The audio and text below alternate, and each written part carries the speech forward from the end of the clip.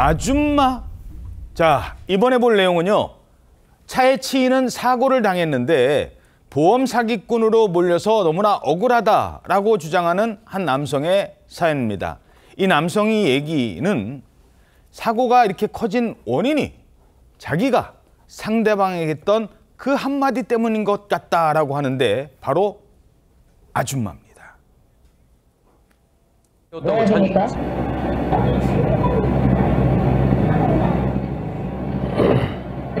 삿대달라는 아줌마가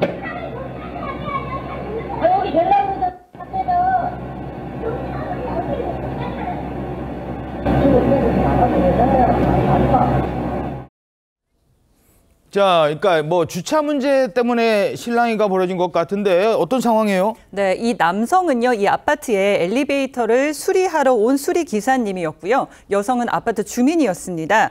당시 이 아파트는 아침 시간이었는데도 지상에 주차할 곳이 없었습니다. 그래서 이 남성은 SUV 뒤에 차를 댄 상태였는데요. 그러니까 이중 주차를 했다고 합니다. 아, 이중 주차. 사이드 네. 풀어놓으면 되는데. 네, 남성이 그런데 차에서 내리지 않았던 상황이었는데 SUV 이 차 주인 여성이 등장을 했고요.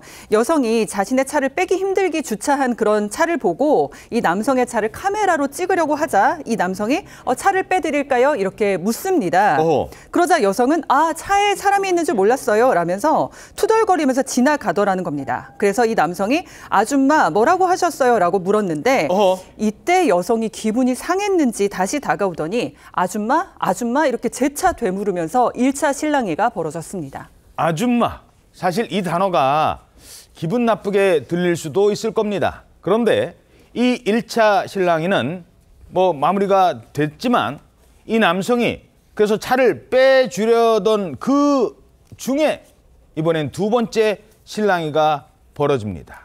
이번엔 또 왜요? 예, 그러니까 남성이 차를 빼줘야 되는 상황이 된 거잖아요. 빼줬거든요. 예. 빼줬는데 바로 그 옆에 장애인 주차 구역이 있었다고 합니다. 어허. 그러니까 남성이 차를 뒤로 빼서 잠깐 이렇게 주차를 시켰는데 거기가 또 하필 장애인 주차 구역이었다는 거예요. 어허. 그 모습을 보더니 후진해서 차를 빼던 여성이 바깥으로 내려가지고 남성의 차량을 차량을 촬영했다고 합니다. 어어. 촬영하면서 그래서 이제 2차 실랑이가 생긴 어, 건데 당신 지금 장애인 구역에다 차 대고 있어. 내가 다 찍어 놓을 거야. 바로 그 얘기였던 거예요. 여성은 왜 장애인 카인에 주차하느냐라고 지적을 했고 남성은 아줌마가 차 빼달라고 하지 않았느냐라고 어. 하니까 또 여성은 아니 그럼 차를 저기 다른 곳에 빼야지라는 식으로 또 막 팽팽하게 그 말다툼이 생긴 거예요.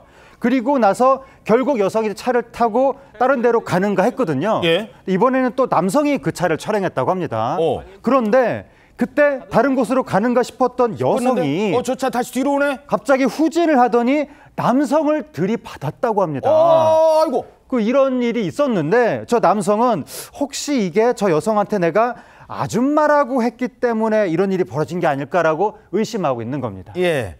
자, 뭐 이번 사건은요. 사건의 그 내용보다 그 아줌마라는 말 때문에 커진 것 같다고 이 피해자가 얘기를 하면서 주목받고 있어요.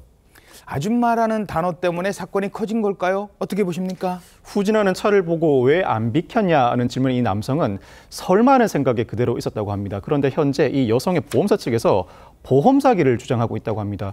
그런데 이 사안을 보험 사기로 보기에는 무리가 있습니다. 이 보험 사기는 이 가해자가 자신의 몸을 직접 들이밀거나 충격이 명백함에도 그대로 서 있는 경우인데 그와 같은 상황으로 보이지 않고 오히려 이 사안은 여성의 특수폭행 사안으로 보입니다. 그와 별개로 아줌마라는 호칭 사실 성차별 호칭인 것은 사실입니다. 주로 중년 여성의 외모나 행동에 대한 부정적 인식을 반영하는 경우가 많은데 이 국립국어원 표준국어 대사전에도 아줌마는 아주머니를 낮춰 부르는 말로 정의하고 있습니다. 또 반대로 아저씨라는 말도 시비나 실랑이가 붙었을 때 종종 사용되는데 이 사건 속에서 남성과 여성도 서로 존중하는 호칭을 썼다면 상황이 달라졌을 것 같습니다. 예.